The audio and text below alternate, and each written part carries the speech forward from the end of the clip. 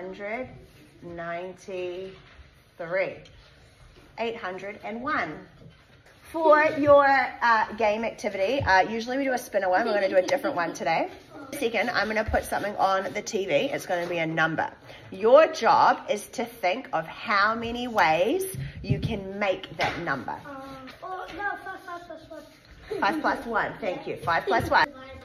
Oh my gosh, that's amazing. 36 divided by, well, it's meant to be a divided by, let's pretend that is, six. Many ways you can make the number? Now, the number is not going to be six. That was a practice one. The number will be slightly bigger. You can use addition, subtraction, times, or divided by. 28. Oh. Okay. Go.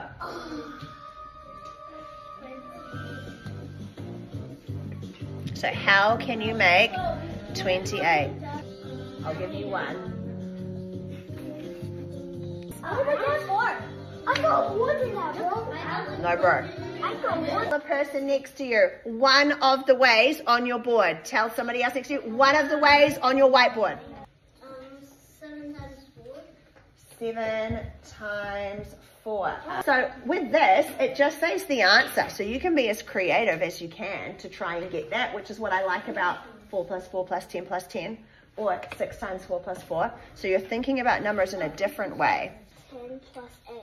10 plus 10 plus 8, amazing. So that Ten plus ten plus three plus five equals twenty-eight. 10 plus 10 plus 3 plus 5, amazing. I like that one. Plus five plus five plus 5 plus 5 plus 5 plus 5 plus 8, amazing. Good job. Right, can you please rub your board off?